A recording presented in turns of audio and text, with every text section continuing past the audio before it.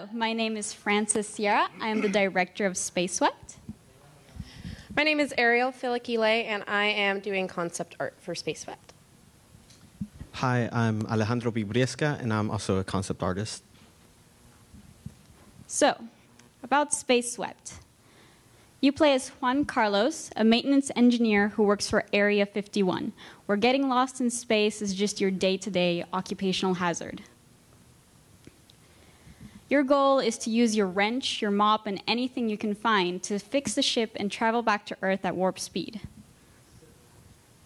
Scattered across the ship, there are maintenance robots. You can think of them as futuristic Roombas that are glitching. They're going to try to smudge you like an unwanted germ, and you're going to have to clean up their act to survive.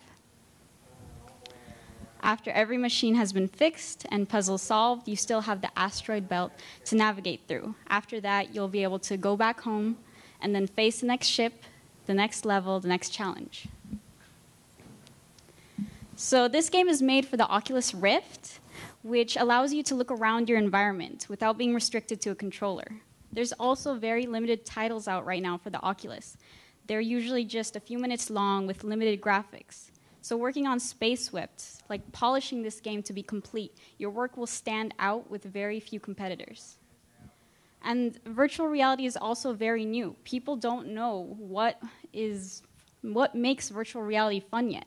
So participating in SpaceSwept lets you be in the forefront of discovering what works and what doesn't work for virtual reality. We're targeting PC with the Oculus Rift and the STEM controllers, which is like an advanced Wii nunchuck that does hand tracking.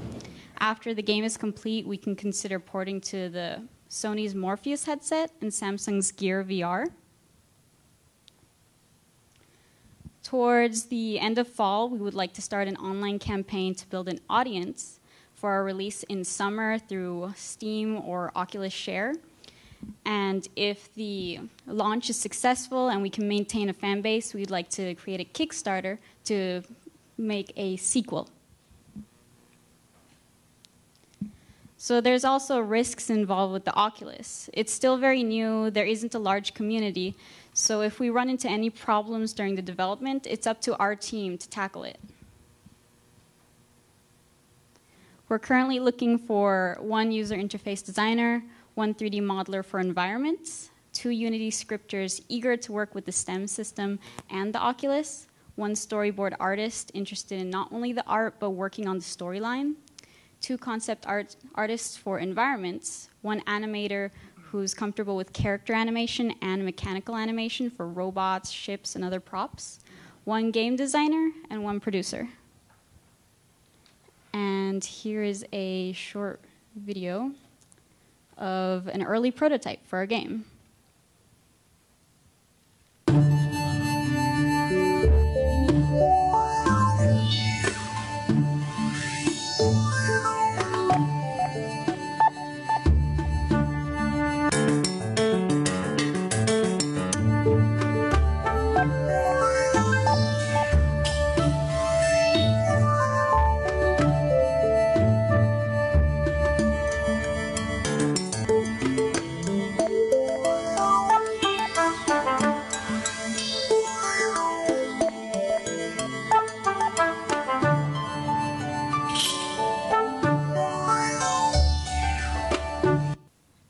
Here's also some artwork from our game. And whenever we're ready, I, we can do Q&A. It sounds like you're ready, so let's do it now. Goody.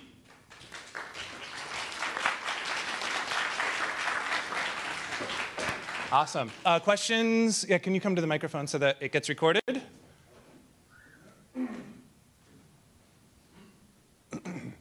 that was really cool. That looked great.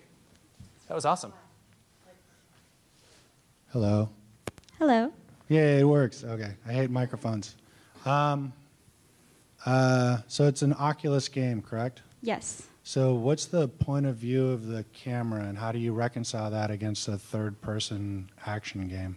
So we're currently just part of SpaceSwept is to experiment what works with virtual reality. There are games already in third person for the Oculus where the character might wave at you and p- I have been told that the players will actually wave back, even though they're just waving at the air. So we're, we're going to experiment with both third person view and first person view to see what creates a more fun experience. Thank you. That was apparently an extremely good question. Thank you, Goody. Are there any other questions? Yes, in the back. Come on up here to the microphone, please. It would actually be easiest if people would queue up, sort of GDC style, right behind the microphone. Uh, hi, uh, it looks really fun. And Oh, thank uh, you. well, I'm a 3D modeler, and I was wondering, how do you, how are you planning to jump from 3D model to animation, or how are you gonna rig them? Do you have already people, or? So we do have 3D modelers and uh, riggers, texture artists, but we're just a handful of students that have been working outside of a collaborative class. So we've been struggling to get by. We need artists like you to really push this this uh, game forward and create something awesome. No, okay, thanks. I li- I like the puzzle gameplay, but I was wondering, is the puzzles, are they randomized or, or how do you, how do you get replayability into the game? So currently, it's more that you'll get a, get a score. Your score is basically your paycheck. If you leave the ship in mint condition and you get all the bonus points, you get a raise. If you destroy the ship, that cuts your pay. Nice. Hi, looks great so far. Um, I have kind of a two-part question. One is, um, it looks like you've already started working on it a little bit, so I'm kind of curious how much of a team you have and what the composition is, how much tech versus art and that sort of stuff. And um, also, uh, Oculus and, and VR is kind of new technology, so how much experience does your team have with that? So our team is really just a handful of students, just on and off, participating when they have time. This is why we're looking to have an official collaborative class. We have probably an even amount of art and tech side. I'm also a bit of a generalist, so I've been providing a lot of the assets in game. For the Oculus, I would say I'm probably the one on the team who has more experience with it because I have a DK1 and a DK2.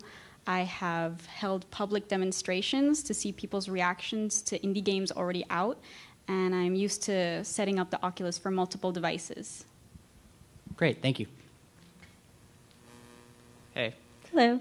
So, building off of Goody's question, your timeline states that you would be finished around June 2016. I Yes. believe? So, but you also mentioned uh, experimenting with point of view. Uh, sorry, point of view and the STEM as well. Yes. How much time will you re- realistically have to experiment before you have to make a final decision? So, as you saw the video of the gameplay, we already have basic mechanics down. Integrating the Oculus was pretty simple. The STEM is a new challenge that we'll have to deal with when we're able to. We can already experiment with first person view and third person view, and we're, we're ready to tackle those challenges. We just need the basically the team, the whole team, the collaborative class to really push this forward. Thanks. Hi. Uh, since it's going to be on Oculus Rift, who is going to be your target audience? What? Who is going to be your target audience? Let's see. I would say probably ages 10 to 17. This is supposed to be a fun game, kind of for everyone, but a younger audience. It is more stylized, cartoony, and just quirky. Oh, thank you. If it's fast, Yeah, just a few All right. seconds. Uh, if, if you guys could give us a little um, inspiration or how you got your inspiration for the art style.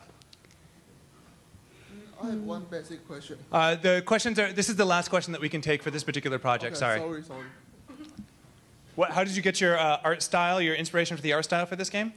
Well, I'm a big fan of animation. I'm actually from the animation department, but I also have a deep passion for games. And I just, from movies like Paranorman and Pixar, that's kind of where the style came from. Cool. Thank you. For, let's hear it for them. Let's, thank you very much. Space Swept.